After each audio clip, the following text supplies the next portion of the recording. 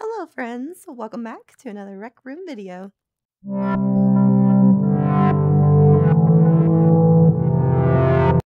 Disclaimer, it's been a while since my last video. I wanted to come on and upload a lot sooner than this, but I am just getting over a cold.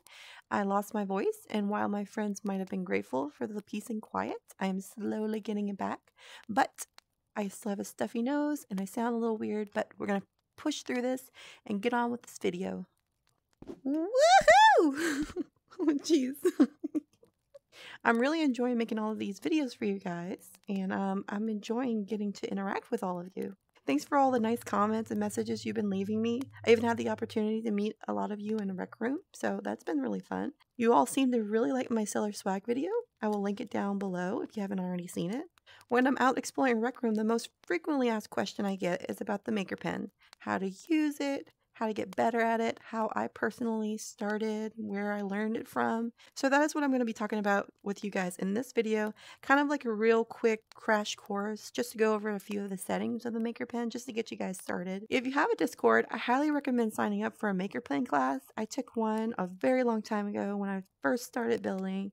I had such a good time. I learned a lot of tips and tricks and I met some of the best people most of the classes meet weekly and have experienced builders that will help you learn everything you need to know about the Maker Pen. Um, this will just be a quick overview. Um, so let's get started. Roll call. Ximph. Present. Okay, now let's start the class. this is my lovely assistant, Ximph. She's an inking ambassador, one of the best people you could ever meet, and she's an amazing builder. So she's perfect to help me um, teach you guys about the Maker Pen. All right, first things first, I'm going to explain the part you probably see in just about every single Rec Room Maker Pen tutorial video you've ever seen on YouTube, and that is how to favor and take out your Maker Pen. Would you like to learn, Ximph, how to do this? Yes, I would. How do you take out your Maker Pen? I have no idea. Okay, first thing we're going to do is we're going to favorite it. So we're going to open our watch, and then we're going to go to Backpack. Once we're in the backpack, we're going to find the Maker Pen and then we're going to click Favorite.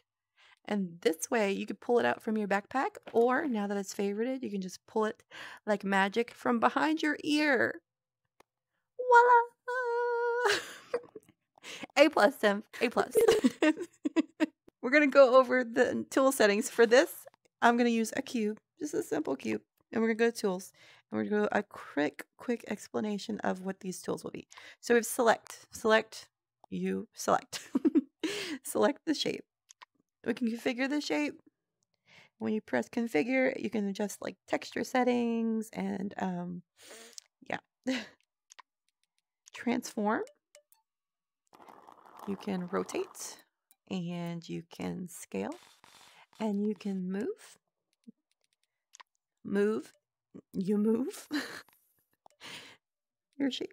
Rotate rotate, scaling. You have clone. You can also flip. This is the this is the flip icon, so you can. I mean, it's a cube, so you can't see it flip, but yeah, we can flip it like that. You can also recolor um, your cube, and from here you can go to swatches. You can save swatches, and then you can go quickly um, go to your swatches and be like, oh, I want this swatch that I saved. Very helpful.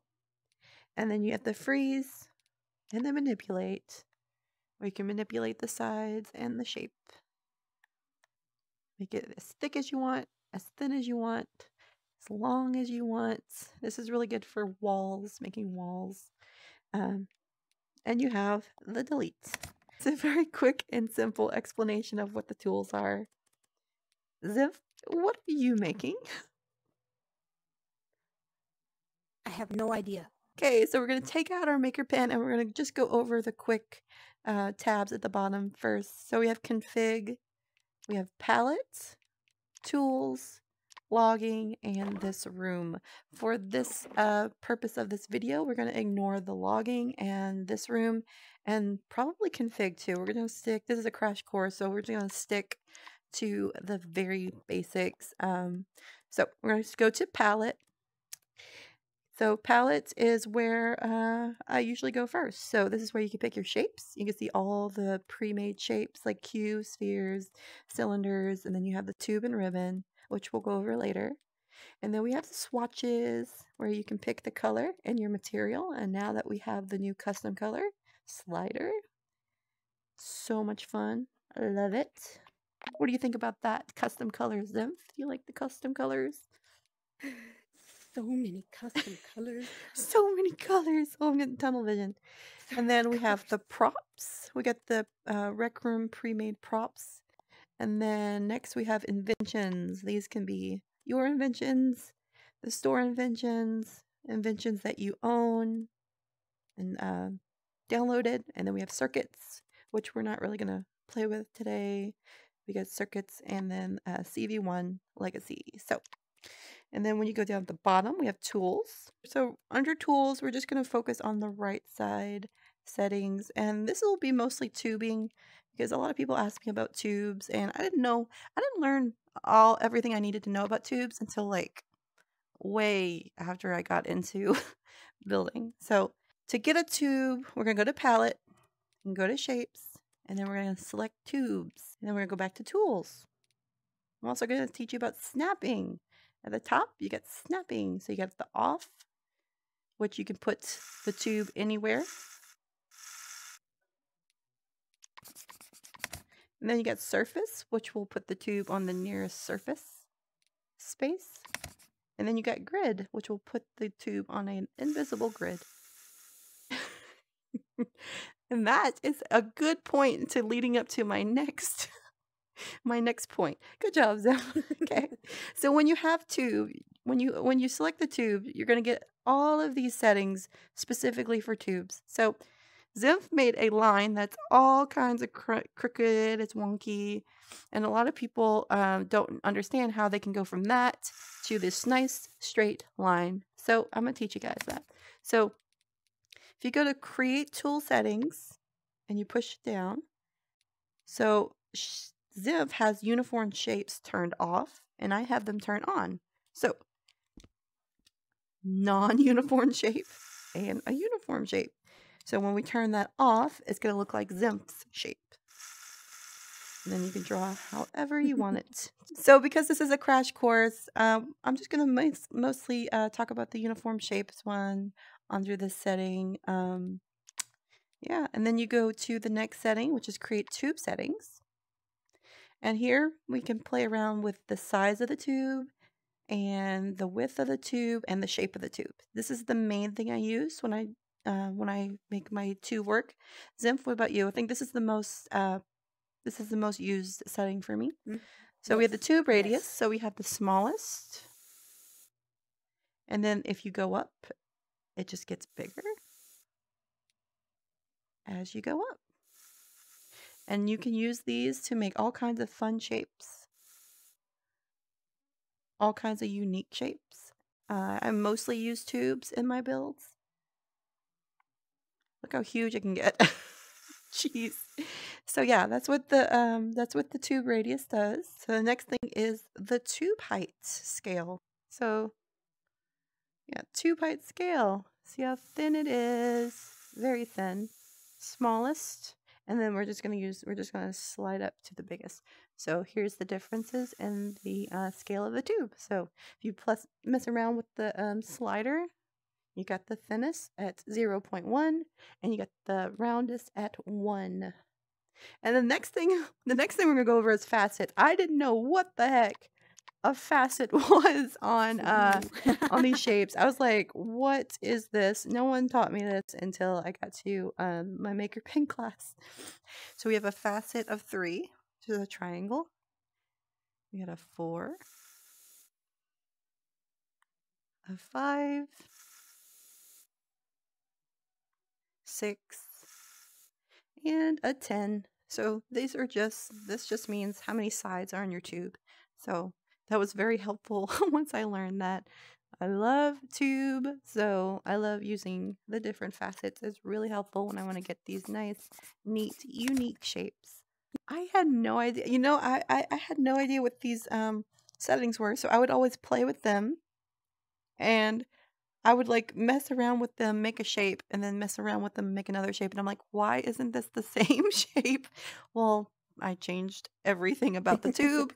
These are the tube characteristics, and um, these are the main settings your tubes will use. So the next thing we're going to uh, do is smooth tubes. We're going to talk about smooth tubes. Smooth tubes is very straight. It's very flat. So when you turn on smooth tubes, it's very shiny and smooth looking with that little point at the top. So smooth tubes turned on, you get this tiny little point at the top, and smooth tubes turned off, you get a nice flat top. Connect nearby tubes. This one's simple enough, self-explanatory. So if I make one tube and I want to make another tube smaller and I want them to connect, I'll turn that on and it becomes one shape. But if I do not want them to uh, connect, I'll turn that off. Get my one tube, let go, and then I'll make another tube.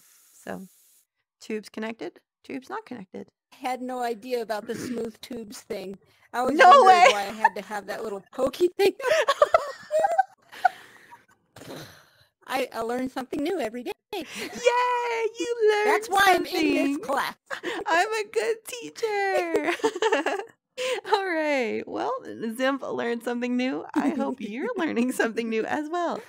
So the next thing we're going to be talking about is snapping settings, and this is for grid. Um, so the position of your snap, you have a tube, and you want your snap to be very, very short and get it close as possible to uh, to the next no- nodule.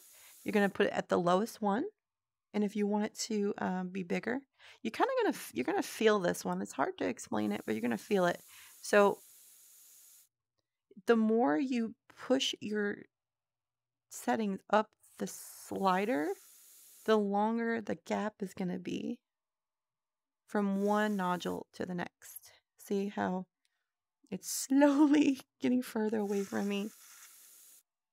And when I go down, it's slowly getting longer as we go. Okay, a lot of people don't know that you can double edit a tube. So I'm gonna, we're going to teach you how to do that. You're going to go to your palettes and click your tube. And then you can mess with your tube settings. You can, you can click the radius you want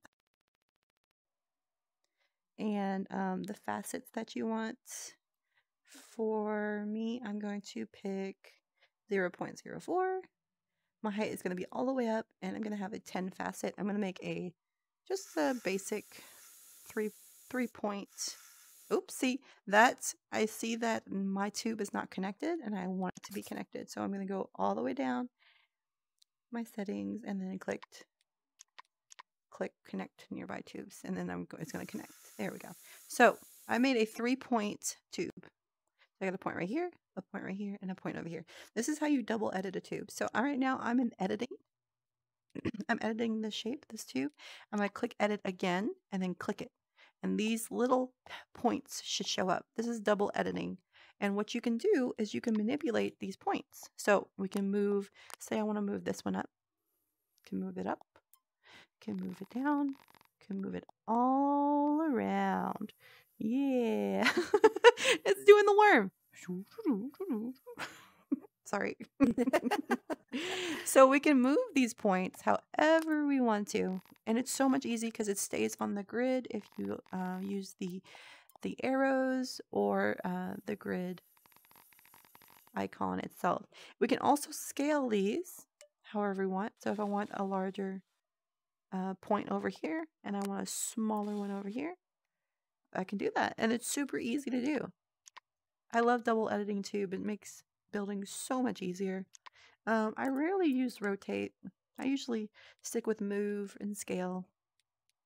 But yeah, so that's how you double edit a tube. Beautiful shape, Ximph. A plus. Original. Yes. Never seen that before.